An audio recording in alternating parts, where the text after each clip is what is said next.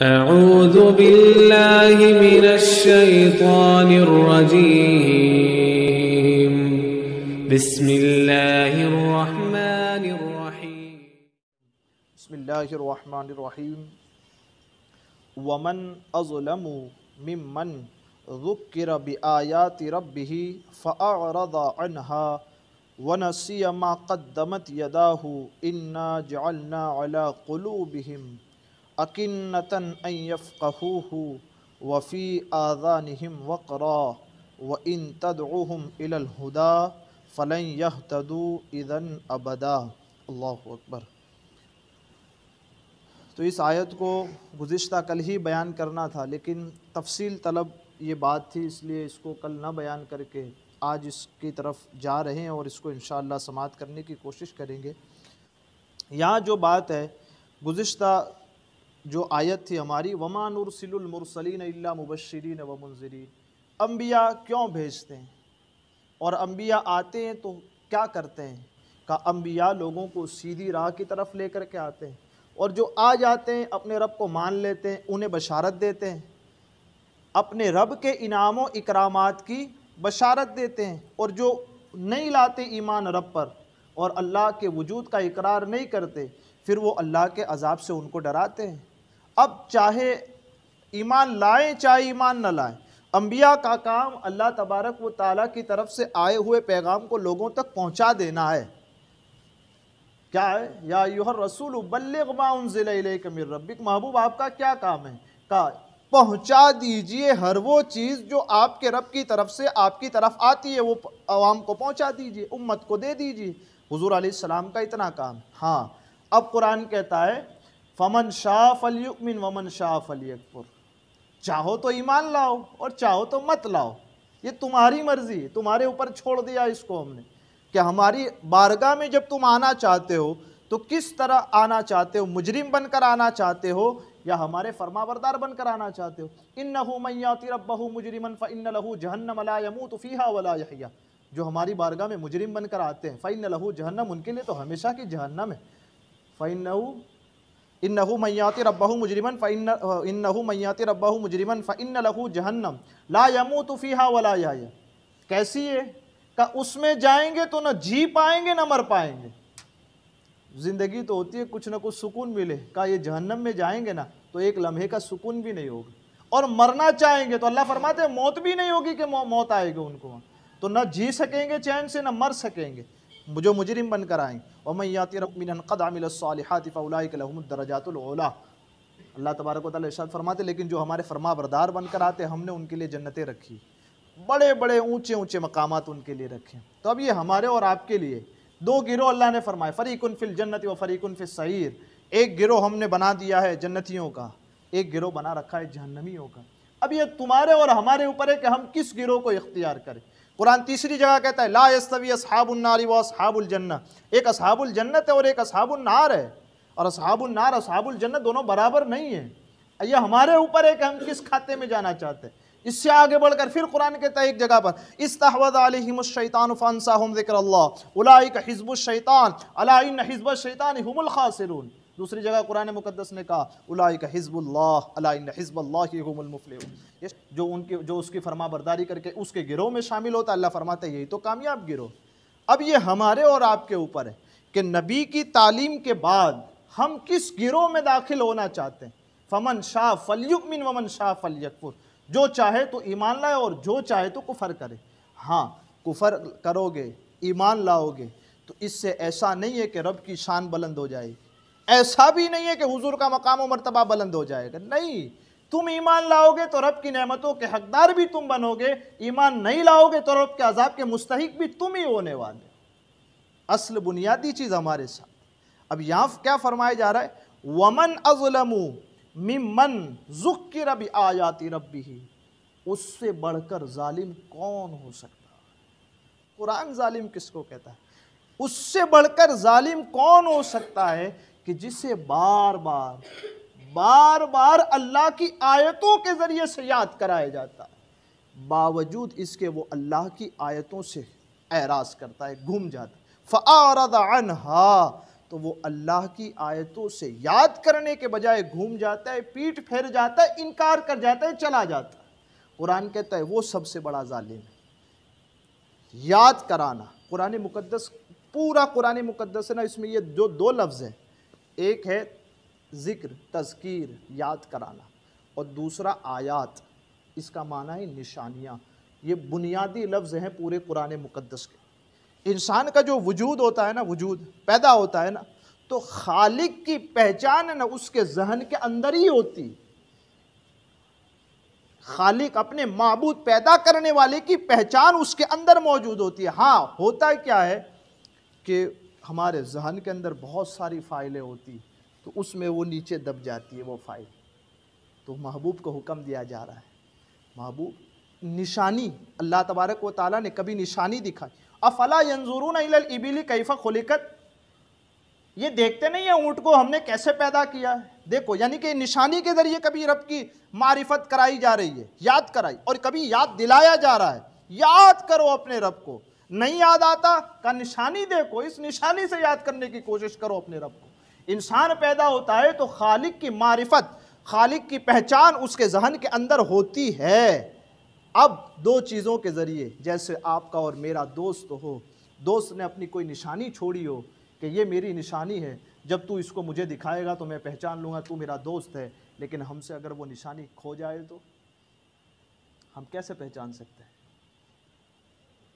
कुरान मुकदस के ये दो बुनियादी लफ्ज़ है। एक निशानी, आयात। इन नफ़ी खल समावाती वर्द वख्तिलाफ़िल्लैलि वन्नहारी लआयातिन अलबाब। यहाँ भी फरमाया गया निशानियाँ हैं। इन नफ़ी खल्क समावाति वलअर्द वख्तिलाफ़िल्लैलि वन्नहारी वलफुल्किल्लती तजरी फ़िल बहरि बिमा यनफ़उन्नास वमा अंज़लल्लाहु मिनस समाई मिन माइन फ़अहया बिहिल अर्द बाद मौतिहा वबस्स फ़ीहा मिन कुल्लि दाब्बह व तसरीफ़िर रियाहि वस्सहाबिल समाई वल अर्दि लआयातिन लिक़ौमिन फिर यहाँ आया लायात बुनियादी लफ्ज़ है। मैं खाली आयतें पढ़ूँ तो एक घंटा लग जाएगा। आयात का लफ्ज़ जिन जिन में आया और तस्कीर याद कराना। महबूब, अफला यंजुरून इबिली कैफ़ा खुलिकत वल समाई कैफ़ा रुफियत। इस आसमान को देखो, कैसे उठा दिया है। बगैर सुतूनों के खड़ा है, न हिलता है, न डोलता है, न गिर जाता है, कुछ नहीं होता। वैलल जिबाली कैफ़ा नसीबत वैलल अर्द कैफ़ा सुतिहत। फिर फरमाया जा रहा है फजक्र महबूब, आप याद कराते रहिए। समझ रहे हैं? तो नबी की बुनियादी चीज़, महबूब, नबी की बुनियादी नबी की बुनियादी आने की जो बुनियादी वजह है, का वो बशारत देते हैं, अजाबों से डराते हैं। बशारत देते पहले किस चीज़ की? कहा, अपने रब को याद करो याद करो फजक्र इन नमान मुजक्र महबूब, आप तो खुल्लम खुल्ला याद कराने वाले, याद कराइए। कुरान मुकदस ने एक जगह ये फरमाया वजक्र फ़िन ज़िक्रा तनफ़ाउलमिन मोमिन को याद कराते रहिए, याद कराते रहिए। क्यों? कि मोमिन को नसीहतें फ़ायदा करती यह बयान फरमा तो बुनियादी चीज़ क्या है? याद कराना, रब के वजूद को याद करना। और ये याद दो चीज़ों से कराया जाता है। कभी निशानियाँ दिखा कर के याद कराया जाता है और कभी हमारे जहन में वो फ़ाइल बहुत ज़्यादा दब चुकी होती है तो उसे याद कराया जाता है। अल्लाह तबारक व ताली की निशानियाँ और उसको बराबर याद कराने के बाद भी अब आता है। उससे बढ़कर जालिम कौन कि उसे बराबर याद कराया जाता है? बावजूद इसके वो मुँह फेर करके चला जाता है। कुरान मुकदस की आयतों के ज़रिए, निशानियों के ज़रिए उसको रब की मारिफत दी जाती है, लेकिन वो कबूल नहीं करता। अब महबूब को हुक्म दे दिया गया, वसबिर नफ्स कमालदीन यदून बिलगदाती वलशी जो याद कर लेते हैं, अपने रब की पहचान कर लेते हैं, महबूब आप उन्हीं के साथ रहिए। यहाँ भी आखिर में आएगा। वसबिर नफ्स कमालदीन यदून रबहम बिलगदाती वलशी युरीदून वजहू वला तदना कानहुम तुरीद जीनत हयात दुनिया वला तुति मन अगफलना कलबहू अन जिक्रीना। देखिए यहाँ भी, अन जिक्रीना। उसकी बात मत मानिए कि जिसने रब की याद को अपने दिल से भुला दिया है। जो अपने रब को याद नहीं करता, उसकी बात मत मानिए, महबूब को हुक्म दिया। अन जिक्रीना। यहाँ भी यहाँ भी वही लफ्ज़ है। वमन अजलम मिमन जुक्रा बार बार याद कराया जा रहा है। ये थोड़ी सी एकेडमिक बहस में आपकी, उसकी तरफ़ आपको लेकर के गया। एक ही लफ्ज़ के ऊपर अभी चल रहा है, बात हमारी। कुरान मुकदस का ये बुनियादी उसूल है। इंसान की वजूद, इंसान के पैदा होने के बाद खालिक का वजूद उसके जहन में होता है, लेकिन उस जहन के अंदर दब जाने के बाद उसे याद कराया जाता है। लेकिन बार बार याद कराने के बाद भी उसे याद ना आए। कहा जाता है, देखो सूरज को हम कैसे पैदा, हमने, हम कैसे निकालते हैं इसको। बारह घंटा दिखता है, फिर बारह घंटा नहीं दिखता। होता है लेकिन दिखता नहीं। इसको देख करके या मानो कि रब है, इस कायनात का कोई खालिक है, देखो इसको और मानो निशानी। का, इसको भी नहीं मानते। याद कराने से भी याद नहीं आया, निशानी दिखाने से भी नहीं आया। अब कुरान मुकद्दस फैसला फरमाता है वन असी मा कदमत यदा और एक तो वो मुँह फेर लेते हैं अल्लाह की आयतों से और दूसरा भूल जाते हैं। उन्होंने अपने आमाल आगे जो भेजे हैं, उनको भूल जाते हैं। उन्होंने क्या किया? कैसे कैसे कुफ्र की अपने रब के साथ किसी को शरीक किया? रब की नाफरमानियाँ की। जिस जिस बात को करने का हुक्म दिया था, नहीं किया। जिससे मना किया गया था, वो भी करता रहा। दिन दुनिया भर की बुराइयाँ, बेहयाइयाँ करता रहा। और जो कुछ आगे भेजा, उसको भूल गया। या युहल्लदीन आमनु वल तंजुर नफ्सुम्मा बिमा तामलून हर जान, जो कुछ उसने आगे भेजा, देखेगी उसको। और यहाँ का रब की निशानी को भी भूल गया, आयात को भी भूल गया साथ साथ में क्या किया? साथ साथ में अपने अमाल को भी भूल गया। अब क्या किया अल्लाह तबारक व ताली ने? अब उसको सुन तवज्जो से। क्या कुरान फरमाता है, इन्ना जालना अला कुलूबिहिम अकिन्नतन। बेशक हमने उनके दिलों पर गिलाफ चढ़ा दिए। हमने उनके दिलों पर गिलाफ चढ़ा दिए हैं अयफ कि अब वो कुरान को समझना चाहते तो समझ नहीं सकते। जुर्म कौन सा करके आए? रब को न याद करना और रब की निशानियों से भी रब को न याद करना। का जब ऐसे लोग होते हैं, आखिरत के मुनकर हो जाते हैं। मरने के बाद दोबारा उठना इसके भी मुनकर हो जाते अल्लाह फरमाते हम उनके दिलों पर गिलाफ चढ़ा देते अब वो कुरान सुनते हैं कुरान सुनते हैं, लेकिन उसको समझ नहीं सकते। अयफ कहू अल्लाह फरमाते हम उसकी समझ को खींच लेते हैं। इन्होंने हमारे वजूद का इनकार किया ना, अब हम उनको ज़िंदा रखते हैं। क्या? इस दुनिया में खाना पानी देते ज़रूर हैं, लेकिन कुरान की समझ छीन लेते हैं उसके पास। आगे, वफ़ी आज़ान हिम वक़रा, और उनके कानों में बोझ रख देते हैं। बोझ? अरे यार, दस मिनट बड़ा तकलीफ़ देता है। चलो, अपने बहुत सारे काम पड़े हैं। चलो, चले जाते हैं। ये बोझ, कुरान की आयतों को सुनना बोझ लगता है। एक तो दिल उस पर गिलाफ चढ़ गया। अब कुरान समझना चाहे का नहीं समझ सकता। और जब कुरान पढ़ा जाए, वफ़ी आज़ान वक्र उनके कानों में बोझ डाल दिया है। कुरान की आयतें सुनते हैं तो भागने की कोशिश करते हैं। चाहते हैं को काफिर। सुनो इसको। यहाँ कोई नहीं होगा, तब भी हम तो पाबंदे तफसीर सुनाने के। है ना? हम इसलिए नहीं सुनाते कि हमने बहुत कुछ पढ़ा है। हम इसलिए सुनाते हैं कि किसी की ज़िम्मेदारी सुनाना होती है तो वो ज़िम्मेदारी पर हम अमल करते हमारी ये ज़िम्मेदारी नहीं है। बोझ लगता है का ये बोझ तुम्हारा पैदा किया हुआ नहीं है, अल्लाह फरमाते हम उनके कानों में बोझ डाल देते हैं। वो चाहते भी हैं कुरान की आयतों को सुनना, लेकिन नहीं सुन सकते हैं वो। तो हम और आप तवज्जो करें कि किस खाते में जा रहे हैं। बराबर मैंने कुरान की बीस पच्चीस आयतें पढ़ी आपके साथ। दो ही गिरोह हैं। जन्नत वाले और जहन्नम वाले। तो हम कौन सा अमल करते हैं तवज्जो से? काफिरों वाले कहीं अमल तो नहीं कर रहे हैं? हम कुरान की आयतें सुनना भारी तो नहीं पड़ रहा है हमको। सही है? ठीक तो तवज्जो।